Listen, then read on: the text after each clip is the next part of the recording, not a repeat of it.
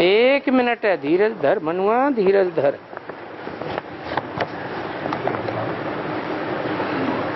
हाँ बोलो। लोग चलेगा तो सब परिवार चलेगा बिहार में ये हैं बिहार में चलेंगे बेहद में कैसा परिवार होता है? और हद में कैसा परिवार होता है? घर में अभी शरीर का परिवार। हैं? हैं? घर में अभी शरीर का परिवार। शरीर का परिवार और ब्राह्मणों का परिवार। तो ब्राह्मणों का परिवार तो पहले चलेगा। बाबा पहले बेहद की बात बेहद के बच्चों को समझाते हैं, या हद की बातें समझाते हैं पहले। बेहद के बच्चों को बेहद की बातें समझाते हैं। बेहद का बाबा है तो बेहद के बच्चों हैं, बच्चे हैं और बेहद का परिवार है। वो तो ज़रूर चलने चाहिए पहले। बाद में बाद में जो लौकिक में हद का परिवार है, वो भी वो भी ज़रूर चलेंगे। और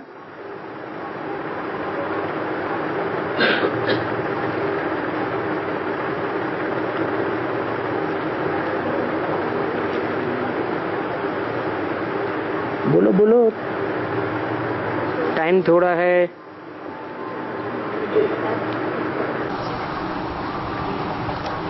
बाबा अभी अभी मूवी में आए हैं ना बाबा के बाबा बैठ के बताएँगे और दादा ने साथ लिखेंगे हैं? तो दादा ने कहा बुद्धि में ज्ञान नहीं बढ़ा है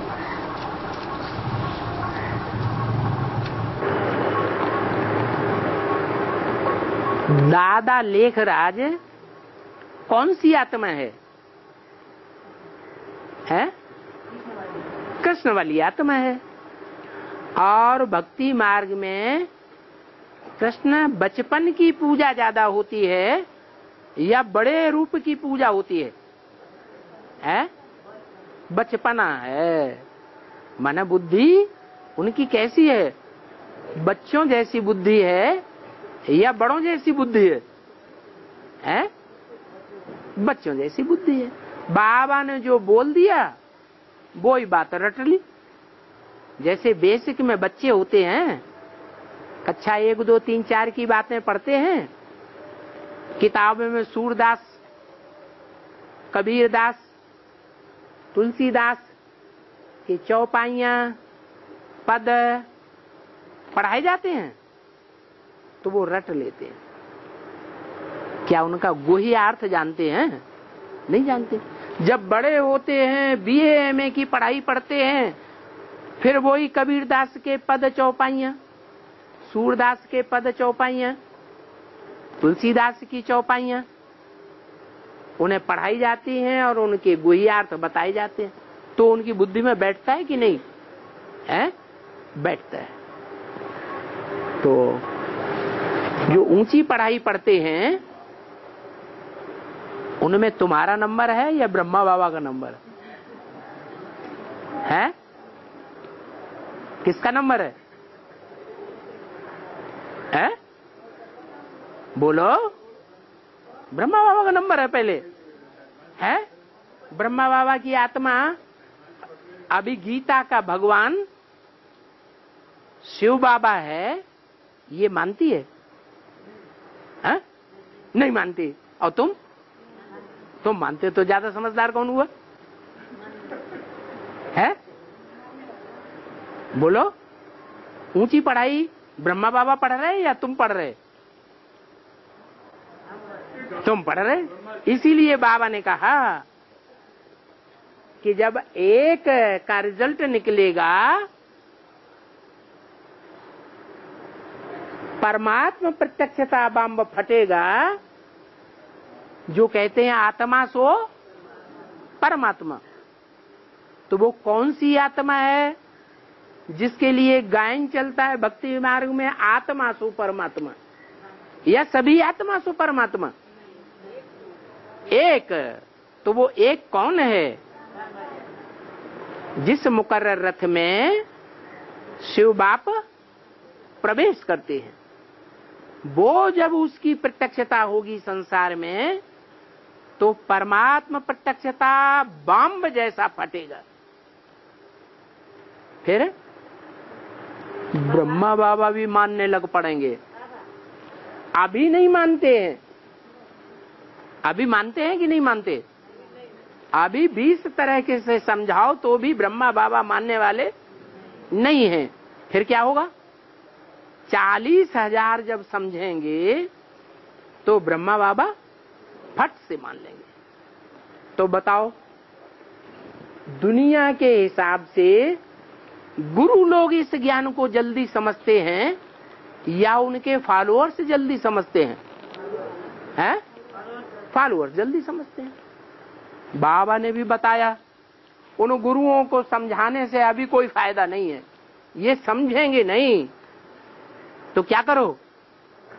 है? तुम इनके फॉलोअर्स को तोड़ते जाओ। इनके फॉलोअर्स को समझाते जाओ। जब सारे फॉलोअर्स समझ जावेंगे तो ये गुरु लोग अपने आप मुँह लटकावेंगे। अच्छा दुनिया का सबसे बड़े से बड़ा देहदारी धर्मगुरु कौन? हा? हा? वो सुन रहा होगा, सूक्ष्म शरीरधारी है। जरा हिसाब किताब से बोलना। दुनिया का सबसे बड़ा देहदारी धर्मगुरु कौन? सोच समझ के बताओ। इब्राहिम, बुद्ध, क्राइस्ट वगैरह? शंकराचार्य वगैरह? या कोई और?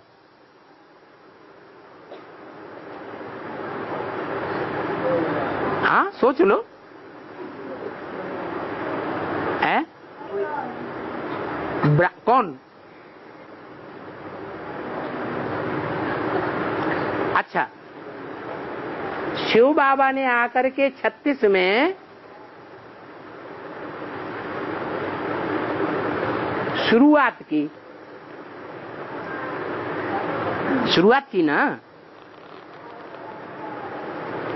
तो राम वाली आत्मा तो चली गई। चली गई कि नहीं?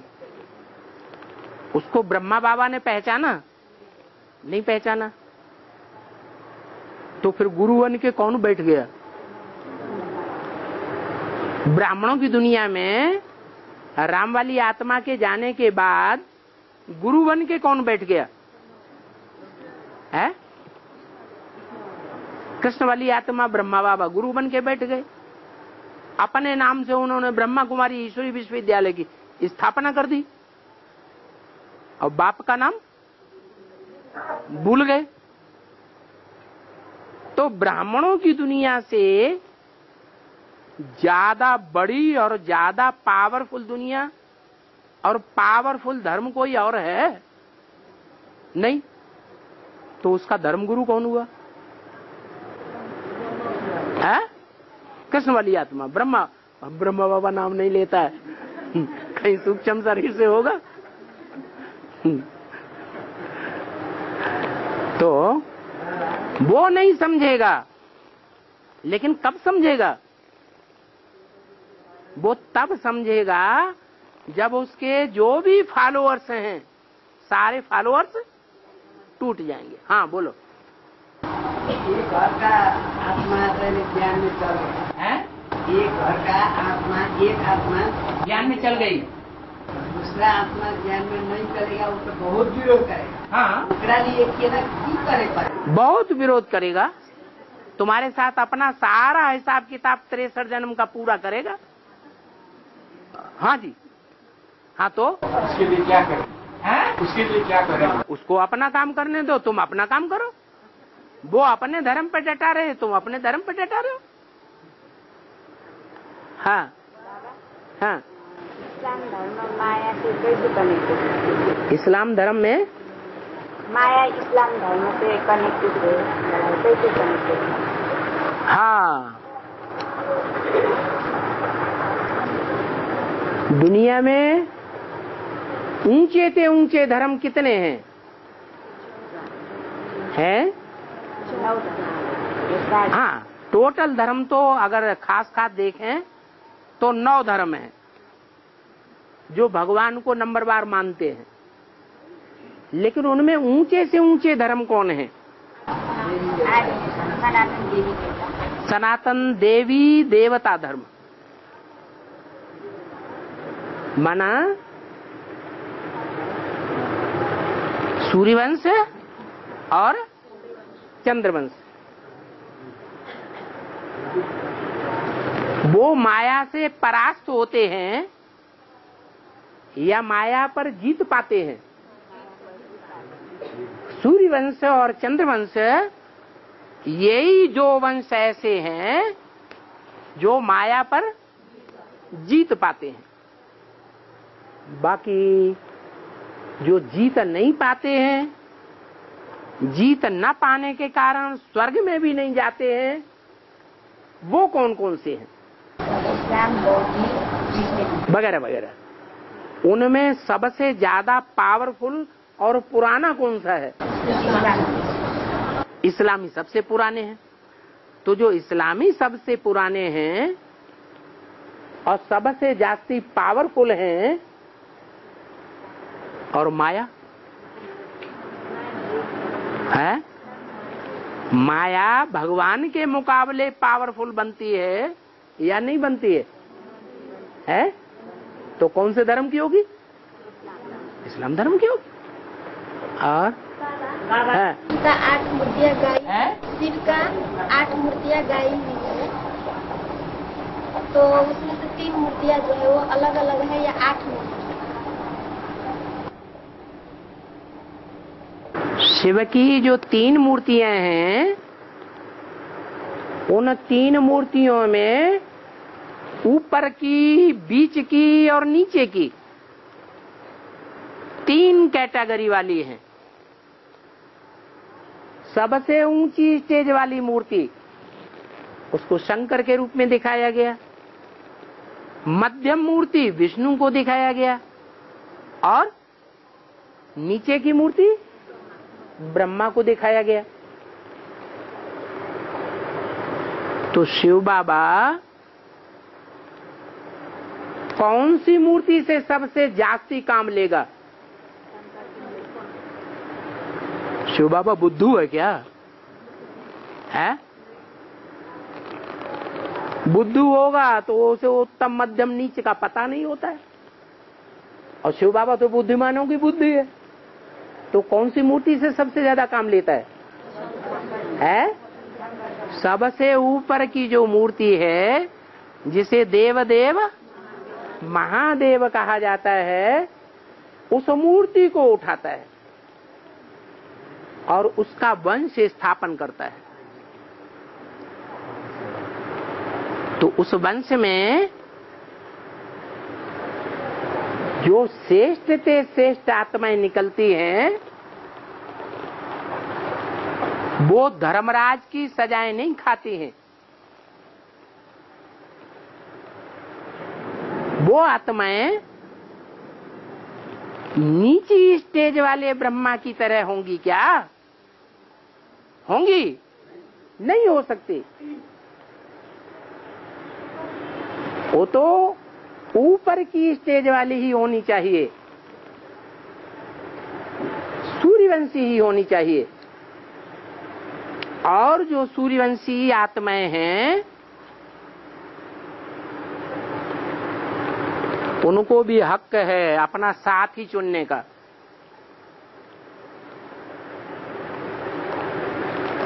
तो चार सूर्यवंश से और चार चंद्रवंश से। टोटल मिला के प्रवृत्ति मार्ग की ये आठ आत्माएँ शिव बाबा की अष्ट मूर्तियाँ हैं। क्या? उन अष्ट मूर्तियों में चार ऐसी हैं जो जन्म जन्मांतर के राजा बनने वाली ये आत्माएँ हैं। और चार ऐसी हैं जो जन्म जन्मांतर की रानियाँ बनने वाली हैं। इसलिए शंकर की पूजा होती है मूर्ति की और विष्णु की पूजा होती है। और हाँ। जो बाप दादा के परिवार है ना? हाँ जी। परिवार। है? है हाँ। तो, तो अरे धड़ाके से बोलो रुकते क्यों हो? बाप की मतलब के लिए के हैं? हैं? लिए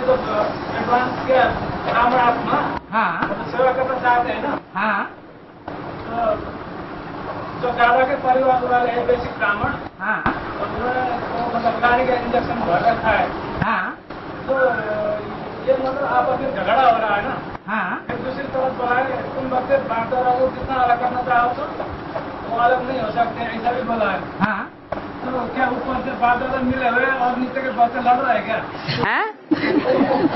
बाप दादा के बच्चे? मिले हुए बच्चे लड़ रहे हाँ। तुम बच्चे बाप दादा को जितना अलग करना चाहो वो अलग नहीं हो सकते ये बोला है। हाँ। फिर जो बाप दादा का जो परिवार है ना ब्राह्मण परिवार हाँ। वो नीचे आपस में लड़ रहे हैं। उन बच्चों में भी कैटेगरी है। जो बाप के बच्चे हैं उनकी भी कैटेगरी है।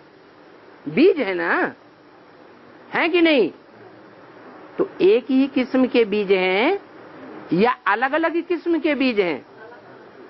नौ कैटेगरी है उन बीजों की। ऐसे ही जो दादा के फॉलोअर्स हैं बेसिक में, उनकी भी कैटेगरीज हैं। वो आठ कैटेगरी के हैं।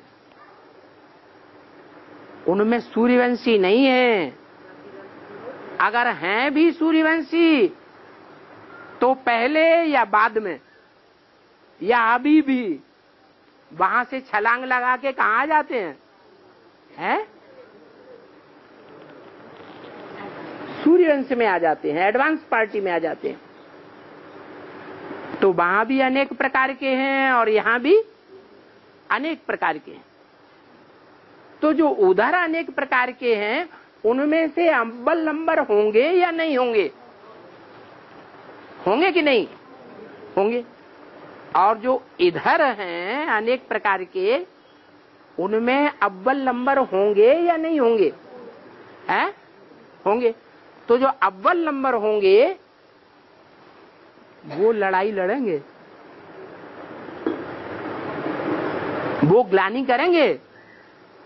बेसिक में जो एग्जैक्ट ब्रह्मा को फॉलो करने वाले होंगे हु बहू फॉलो करने वाले होंगे, वो ग्लानी की बातें करेंगे, या कर रहे होंगे। बोलो। अरे, हाथ मसलने लगे, बोलो ना। हो नहीं करते हैं। जो ग्लानी नहीं करते हैं, अंदर से समझते हैं कि सच्चाई कुछ और है, वो बेचारे अभी बंधे हुए हैं। मौके की तलाश में हैं। जब मौका मिलेगा तो फटाक से वो रानी मक्खी उड़ेगी और उसके पीछे पीछे सोलह हज़ार की संख्या निकल पड़ेगी।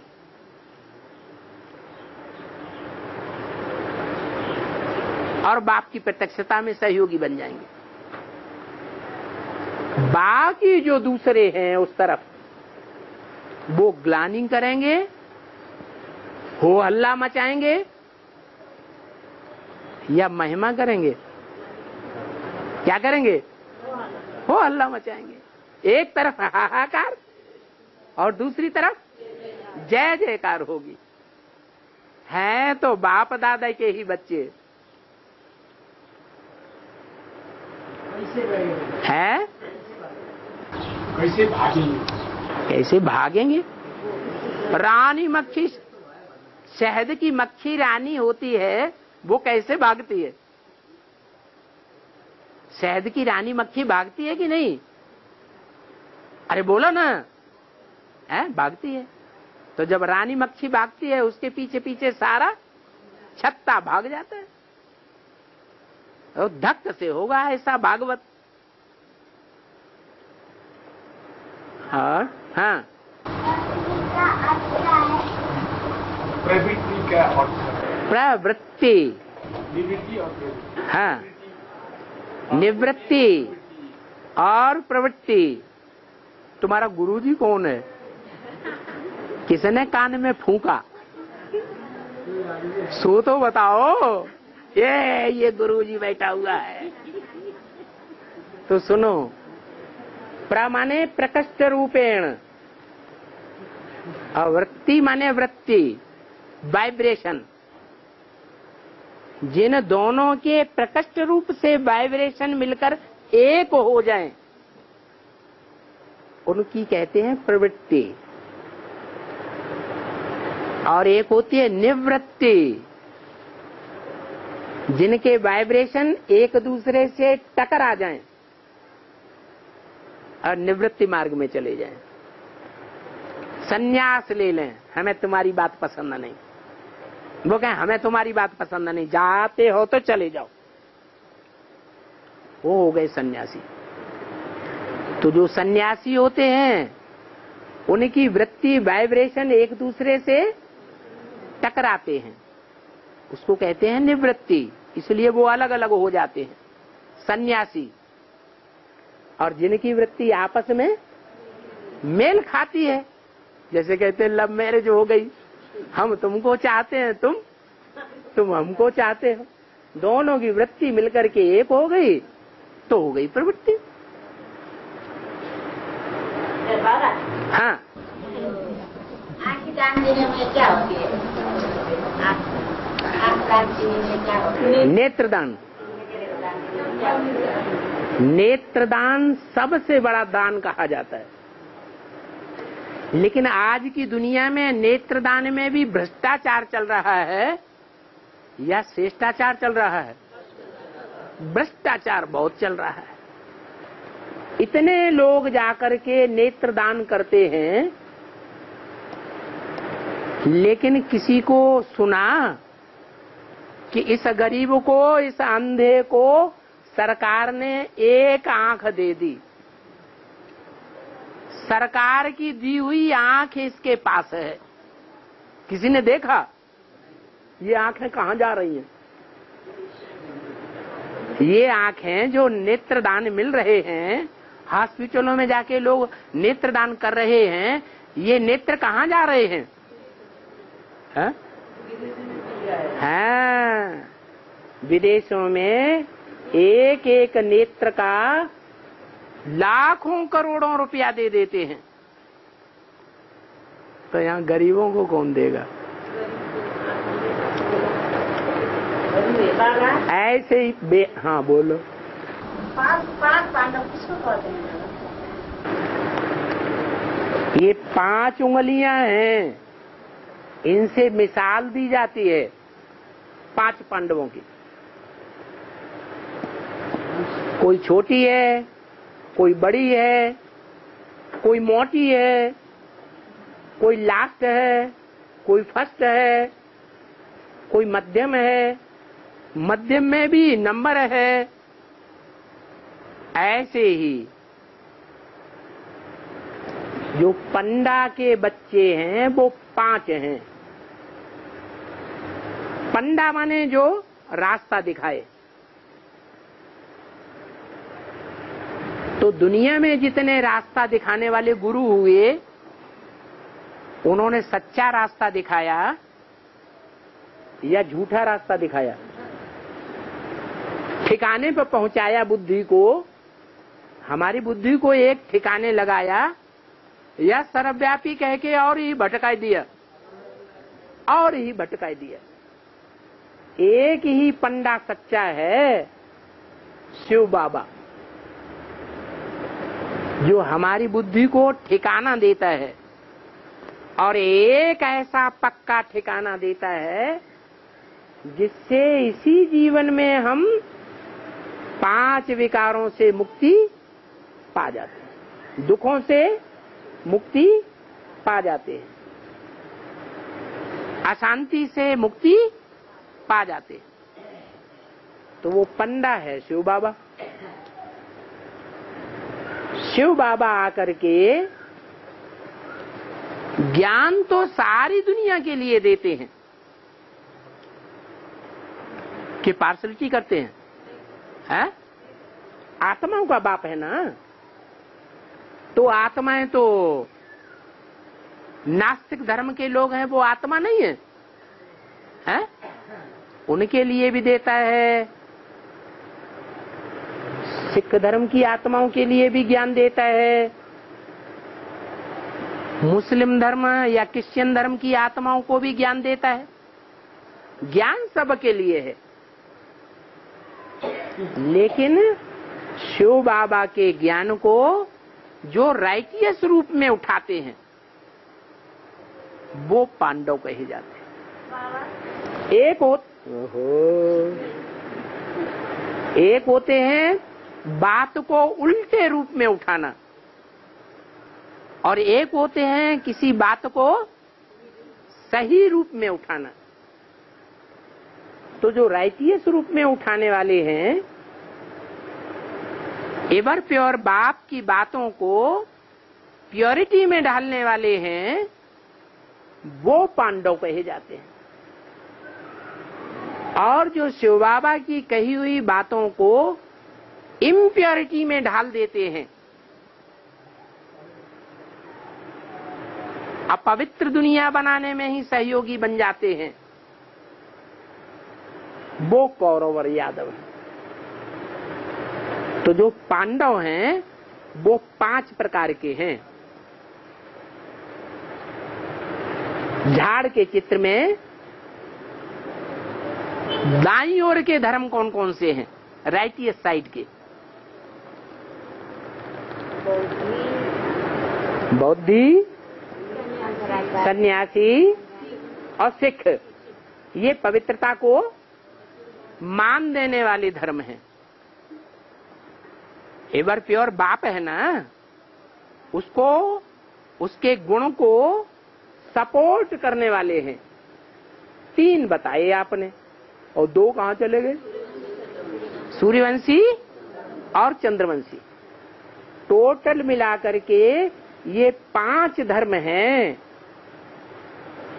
पाँच धर्मों की कोई मुखिया आत्माएँ भी तो होंगी। जो मुखिया आत्माएँ हैं, वो अब्बल नंबर की है। अब्बल नंबर में कहते हैं, कौन आता है? जो ओटे सो अर्जुन तो अव्वल नंबर में आने वाली आत्माओं को नाम दे दिया है। युधिष्ठिर, भीम, अर्जुन, नकुल और सहदेव। ये पाँचों धर्मों से आत्माओं का चुनाव होता है और वो पांडव कहे जाते हैं। उन पांडवों ने बाप का पक्ष लिया। कौरवों यादवों का पक्ष नहीं लिया। है? हो। है वो वो वो कोने में कुछ पूछ रहा है, वो भी तो सुन लो। हद का नेत्रदान तो समझ लिया। अब बेहद में भी नेत्रदान चल रहा है कि नहीं? तीसरे नेत्र का दान चल रहा है या नहीं? ज्ञान दान देते हैं ना? तो कोई तो ज्ञान दान ऐसे देते हैं कि ज्ञान दान देते समय स्वार्थ बुद्धि से देते हैं। क्या? कैसे देते हैं? स्वार्थ की बुद्धि से ज्ञान दान देते हैं। तो जो स्वार्थ बुद्धि से ज्ञान दान देते हैं वो ही भ्रष्टाचार है। जैसे मान लो कोई कुमार है, उसने कोई कन्या को ज्ञान दिया। ज्ञान तो दिया, लेकिन ज्ञान देते देते स्वार्थ बुद्धि अगर हो गई, हो जाती है कि नहीं? स्वार्थ बुद्धि हो गई तो फिर बाद में क्या करते हैं उस कन्या के साथ?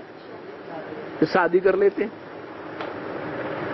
तो ये नेत्रदान सच्चा हुआ या झूठा हुआ? झूठा हो गया। भ्रष्टाचार हो गया?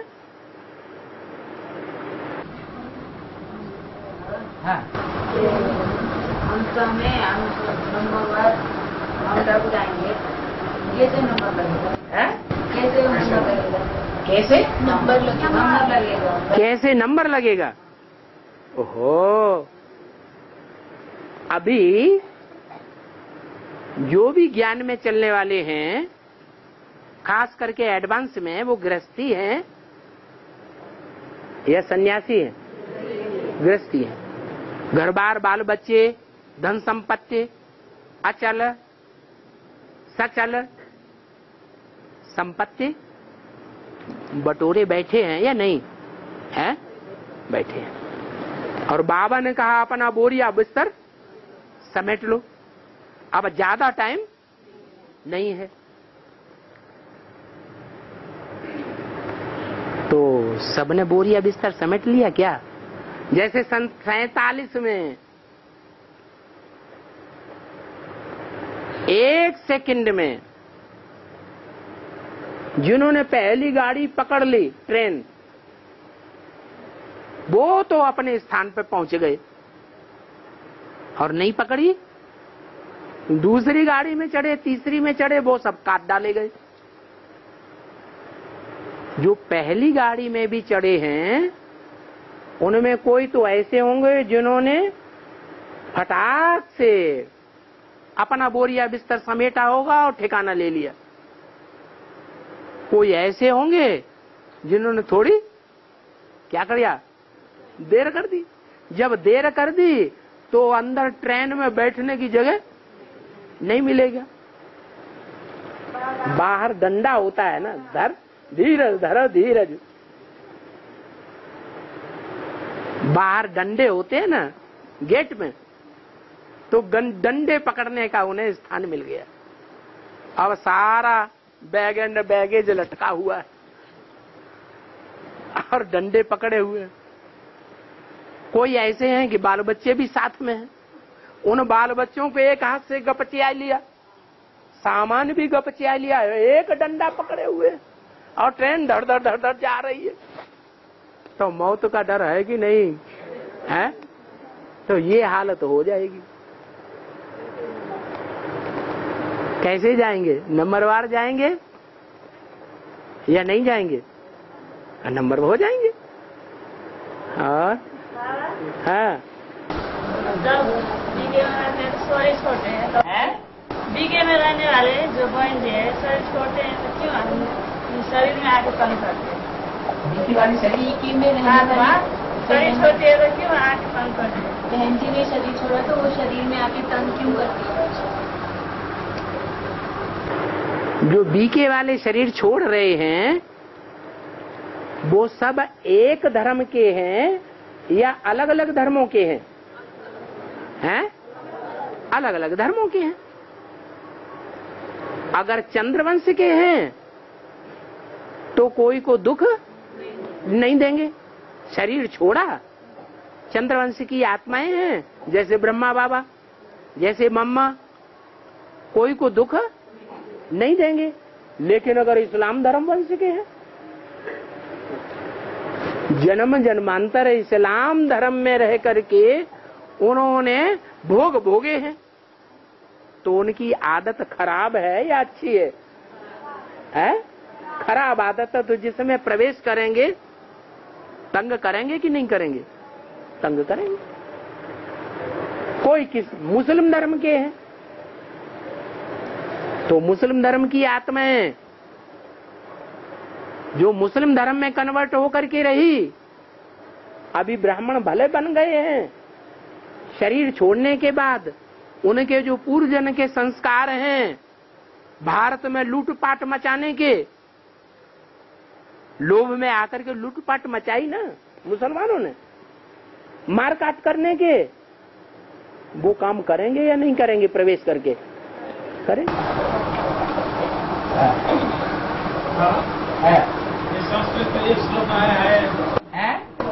संस्कृत में एक श्लोक आया है। महाकाय सूर्यकुटी समप्रभ ये विष्णुकुटी जगह सब कार्य सर्वदा। इसका अर्थ तो हमें बताओ पहले। हैं? इसका अर्थ बताओ, फिर हम उसका रहस्य बताएँ। अरे, है? अरे, गणेश जी की स्तुति तो कर दी। वो तो सुना दिया, रटा रटाया। लेकिन उसका अर्थ बताओ ना तो एक एक का अर्थ बताया जाए। बोलो। हाँ।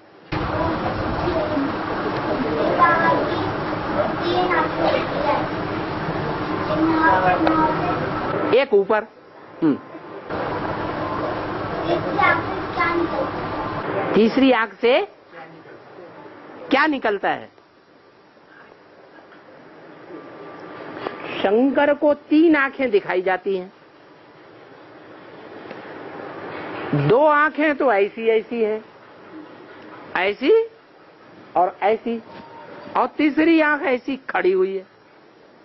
है ना? है? तो एक आँख तो है राम की और एक आँख है कृष्ण की। ये दोनों आँखें तिरसठ जन्मों से विकारी दुनिया में पड़ी हुई हैं या खड़ी हुई हैं? है? पड़ी हुई हैं। और तीसरी आँख है शिवनेत्र कहा जाता है। क्या कहा जाता है? शिवनेत्र। तो शिव जब प्रवेश करता है, चाहे राम वाली आत्मा में, चाहे कृष्ण वाली आत्मा में, वो खड़े होके कार्य करता है या पड़े होके कार्य करता है? खड़े होके कार्य करता है। लेकिन कार्य तो खड़े होके करता है। अलर्ट होके करता है। शिव बाबा से कोई गलती नहीं हो सकती। हो सकती है। शिव बाबा से कोई गलती नहीं हो सकती। एक एक शब्द, एक एक अक्षर एक्यूरेट बोलते हैं। लेकिन समझने वाले उतना समझते हैं। समझते हैं? हैं? नहीं समझते। तो जो नहीं समझते हैं, आँख तो खड़ी हुई है। तो उस आँख का जो असर है, उसे खुली हुई आँख कहें या बंद आँख कहें? है? असर तो पड़ा ही नहीं। तो आँख खुली है या पड़ी हुई है? वो बंद है। कैसी है? हैं?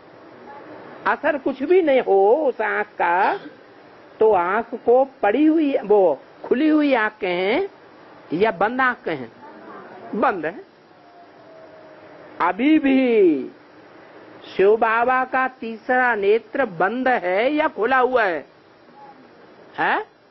बंद है। इसलिए इतना ज्ञान सुना रहे हैं, चढ़ती कला हो रही है या उतरती कला हो रही है? हैं? चढ़ती कला हो रही है। उतरती कला हो रही है। आखिर ये चढ़ती कला कैसे होगी? इसलिए मुरली में बोला, शंकर की आँख बंद ही बनी रहे तो अच्छा है। क्या? अगर आँख खुल गई तो विनाश हो जाएगा। और ये तो बात पक्की है।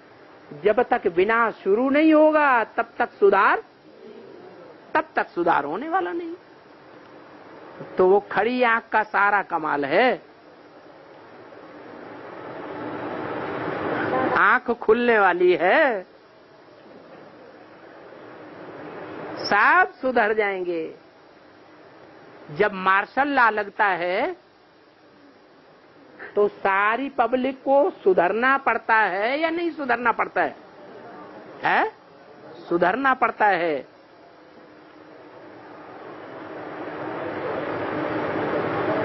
अभी मार्शल इंडिया में कभी लगा? कभी नहीं लगा। चलो वो तो हद की इंडिया, हद का मार्शल हमारे बेहद ब्राह्मणों की दुनिया में बेहद का मार्शल कौन है? शंकर है मार्शल रूहानी सेना का। तो अगर उसकी आँख खुल गई तो क्या होगा? है? तावड़ तो डंडा ही डंडा डंडा ही डंडा। मानो तो ठीक, नहीं मानो तो ठा। मिलिट्री राज्य में क्या होता है? मार्शल लॉ जब होता है तो क्या करते हैं? हैं?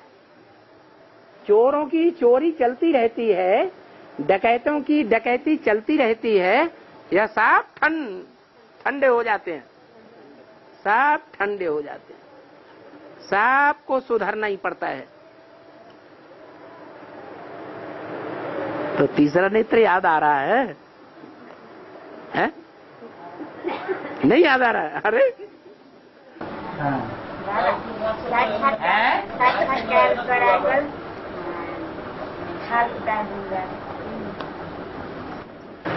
साक्षात्कार करा के सजा दूँगा। बिना प्रूफ और प्रमाण के सजा नहीं दूँगा। हाँ। जैसे जैसे किसी को सोटा लगता है और ऊपर की चमड़ी उधड़ जाती है। तो कितना दर्द होता है? अगर चाकू से काटते हैं तो उतना दर्द महसूस नहीं होता। लेकिन ऊपर ऊपर की चमड़ी जब उधर जाती है, बहुत दर्द होता है। तो हड्डी हड्डी तोड़ दूँगा, खाल उधेड़ दूँगा।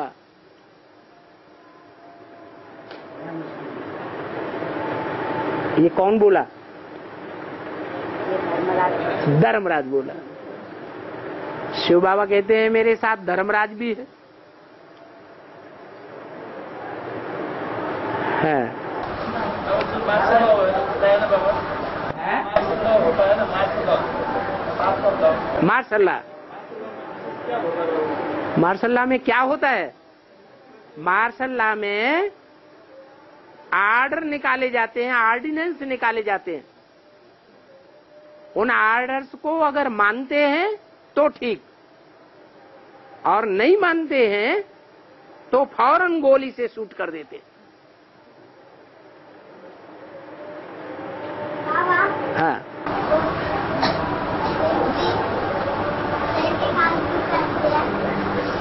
शिव जी शेर की खल क्यों पहने? शिव जी शेर की खल क्यों पहने? हाँ बाघंबर शेर की खाल नहीं पहनते हैं। बाघ की खाल पहनते हैं। शेर भी दो तरह का होता है। एक बबर शेर और एक बाघ अंबर। बाघ, जिसे टाइगर कहा जाता है। भारत का राष्ट्रीय पशु कौन सा है? हैं? टाइगर है या बबर शेर है? टाइगर है। ज़्यादा ताकतवर कौन सा होता है? है? बबर शेर ज़्यादा ताकतवर होता है या टाइगर ज़्यादा ताकतवर होता है? है? बबर शेर जो बड़े मोहड़े वाला होता है, वो ज़्यादा ताकतवर होता है। और टाइगर छोटे मोहड़े का होता है, लेकिन मौका देख करके हमला करता है। अवसर पा के हमला करेगा। ऐसे ही सीधा हमला नहीं करता। इसलिए ज़्यादा खतरनाक कौन हुआ? टाइगर ज़्यादा खतरनाक होता है। तो त्रिमूर्ति में टाइगर कौन है? और बबर शेर का पार्ट कौन बजाता है संपूर्ण होने पर? ब्रह्मा बाबा, बबर शेर का पार्ट भारी है। इसलिए दो तरह की देवियाँ भी दिखाई गई हैं। एक सिंहवाहिनी और एक बाघंबरी देवी। हाँ और? हाँ रुको रुको रुको। है?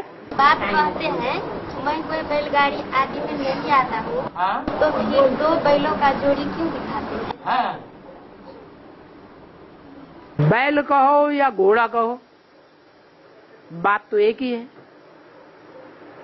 जब यज्ञ शुरू हुआ था उस समय हिंदुस्तान में कांग्रेस की भी रचना हुई। कांग्रेस का निशान दो बैलों की जोड़ी था। क्या? और यज्ञ में भी ब्राह्मणों की दुनिया में जो यज्ञ की गाड़ी चलाने वाली आत्माएँ थी, वो भी दो ही थी। कौन कौन राम और राम और कृष्ण। ये दो बैलों की जोड़ी थी। अभी कांग्रेस का वो निशान खत्म कर दिया। क्या? पहले था। और? है। त्याग करना और सहन करना। है? त्याग करना और सहन करना। इसमें बड़ी बात क्या है? सहन करना? त्याग करना और सहन करने में से बड़ा क्या है सहन करना बड़ा है वो ही बड़ा त्याग करना है। जो सहन करता है, वो ही बड़ा त्याग करता है।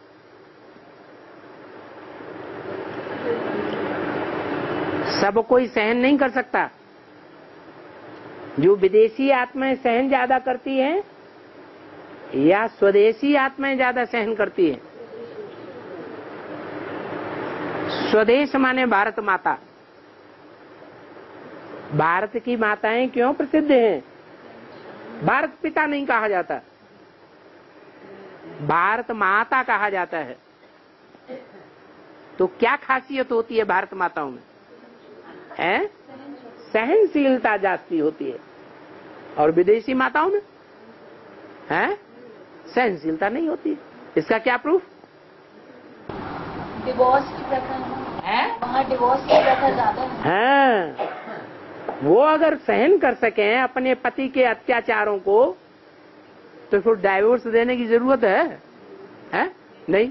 लेकिन विदेशों में तो सबसे जास्ती डाइवोर्स चलते हैं। थोड़ी सी कोई बात हो गई अब बस डाइवोर्स वो दूसरी शादी करते हैं। लात मारी ये गए?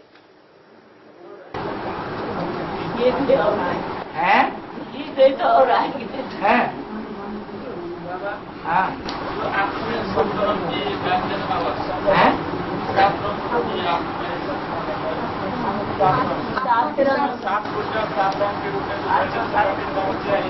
आत्मा सात रंग की होती है। जो बात है उसके बारे में आत्मा सात रंग की होती है।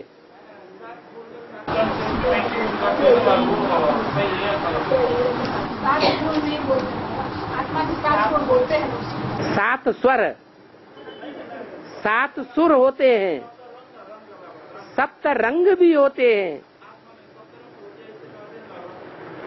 सात रंग जो हैं, वो तो सात नारायणों की यादगार हैं। वो रंगीले हैं। सात नारायण जो हैं, उनको रंगीला नारायण कहेंगे या निरंग कहेंगे। नो रंग। वो रंगीले हैं। कोई इस्लाम धर्म में रंगे हुए हैं, कोई क्रिश्चियन धर्म में रंगे हुए हैं, कोई बौद्धि रंग में रंगे हुए हैं, सात रंग हैं विधर्मियों में। लेकिन सातों रंगों को अगर इकट्ठा कर दें तो कौन सा रंग बनता है? है? काला रंग बन जाता है। और सब रंगों को हटा दें? क्या? कोई रंग नहीं। कोई का प्रभाव नहीं। सातों धर्मों का कोई प्रभाव न पड़े, कोई रंग न चढ़े तो कौन सा रंग आएगा? सफ़ेद रंग। ये विष्णु को दिखाया जाता है। हमारा झंडा है, झंडे में लाल रंग है, बीच में सफ़ेद रंग है और नीचे हरा रंग है। तो संपूर्ण बनने के बाद कौन सा रंग है? सारे रंग धुले ब्लीचिंग पाउडर। सब रंगों को ब्लीच कर दिया। ये काम कौन करता है?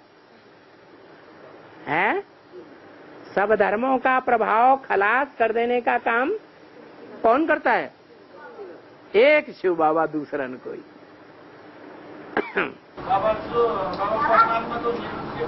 है? यही तो।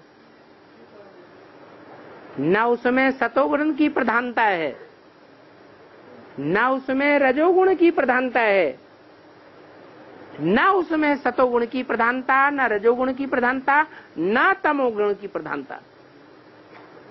सब गुणों से परे है। प्रकृति जो होती है, वो तीन गुणों से युक्त होती है। कहा प्रकृति और कहा प्रकृति पति? एक जैसे होंगे क्या? ये स्त्री पुरुष का हिसाब है। स्त्री अगर माइनस है तो पुरुष प्लस है। बाप परमात्मा सगुण साकार और निर्गुण निराकार के रूप में माना मार्ग में? हाँ। सगुण साकार और निर्गुण निराकार दोनों को देते हैं। हाँ। क्योंकि शिव निराकार साकार में प्रवेश करता है। तो दोनों को मानना पड़ेगा या एक को मानेंगे एक को नहीं मानेंगे। मुरली में क्या बोला? साकार के बगैर निराकार कोई काम करेगा?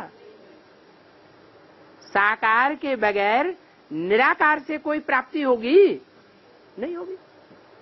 इसलिए भारत में ये बात खास बताई गई है। सगुण ही अगुण ही नहीं कछु बेदा। उभय हरे भव संभव खेदा। ये जो भेद करते हैं, ये शिव बाबा ने कहा। ये ब्रह्मा बाबा ने कहा। हम ब्रह्मा बाबा की कोई बात नहीं मानेंगे। हम तो शिव बाबा की ही बात मानेंगे। ब्रह्मा कुमारियाँ कहती हैं, हम ब्रह्मा को ही मानेंगे। शिव क्या है? वो तो बिंदी है। तो दोनों गलत। न आत्मा निराकार कुछ कर सकती है, न अकेला साकार शरीर कुछ कर सकता है। निराकार और साकार के मेल से ही दुनिया चलती है। अगर दोनों को अलग अलग कर दिया गया तो निराकार अपने परम धाम में रहें। कहा रहें? परम धाम में रहें। और साकार? साकार पाँच तत्व कहाँ रहें? हैं? इस दुनिया में रहें। इस दुनिया में जहाँ रहेंगे साकार तत्व बिना निराकार के तो ध्वस्त होकर के रहेंगे या खड़े होके रहेंगे। ध्वस्त हो जाते हैं। इसलिए बोला, साकार में निराकार को याद करो। नहीं तो दूसरे धर्म में कन्वर्ट हो जाएँगे।